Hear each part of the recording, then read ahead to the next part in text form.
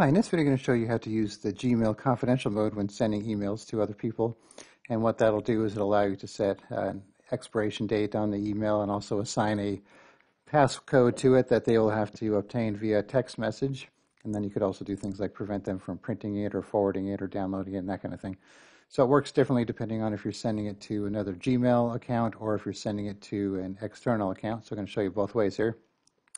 So the sender is going to be Todd here and he's going to send to another Gmail user, Cindy, for the Gmail example, and then we'll send send it to an to an external email address for the other example. I'm going to show you how that works. So to begin, just go to compose like you normally would, and just you know type in your normal message. And then you want to click on toggle confidential mode and then you can set your expiration date anywhere from a day to five years. The default is one week. And then if you want them to have to get a text message with a code to uh, enter into open this email, you could do that. So you click on save. And then you can see you have this section added here telling you it's using confidential mode. Then you could edit it if you need to make changes, or you could click the X to get rid of that and send it as a regular email.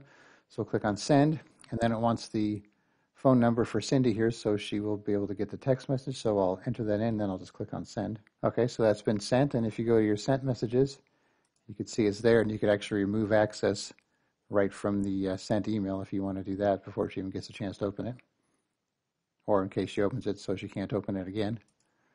Okay, so we'll go to Cindy here, and so we have our new don't share this email, so we'll open that, and then it's going to need to send the passcode to the phone, so we'll do that now and they'll get the text message. And we'll put in the code from that.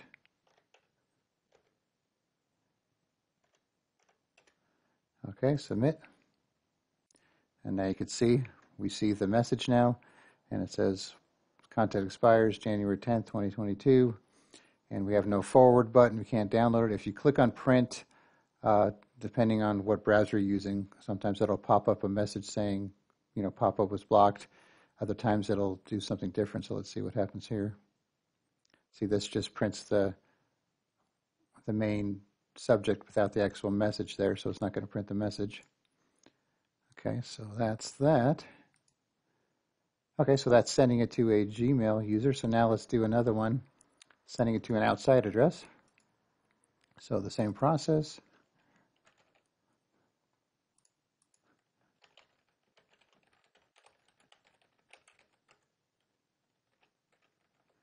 Okay, and then we'll do the same process here. We'll do the passcode and then send it, put in the phone number again, click on send. Okay, so now we'll go to the other outside account and see what we got. Okay, so we got our new message here, so let's open that up. Okay, so, so click on view the email. And now here's the catch here. You have to uh, use a Google account tied to this outside email address. So you don't have to have a Gmail email address to have a Google account, but you could use your you know Outlook or your Hotmail account uh, email address to make a Google account, if that makes sense. So if you don't have a Google account tied to this external email address, now you're not going to be able to do it. And if you do, you just click on Sign in with Google, and then you have to put in your information here.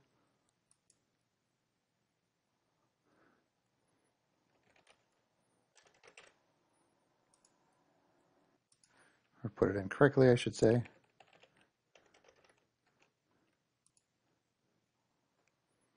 Okay, so now we're going to send the, send the passcode here, just like we did with the Google account.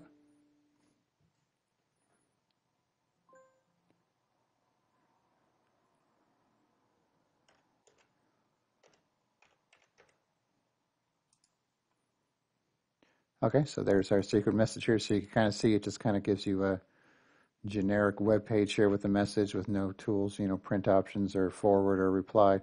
So the catch is obviously you could take a screenshot of this and print it out or forward it on to somebody so it's not totally foolproof.